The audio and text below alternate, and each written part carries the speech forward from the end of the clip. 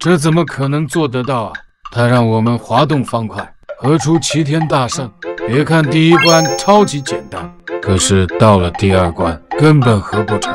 因为无论你往哪个方向滑动方块到最后都会被其他方块卡住。这也太难了吧？谁能合出第二关的弑神魔尊？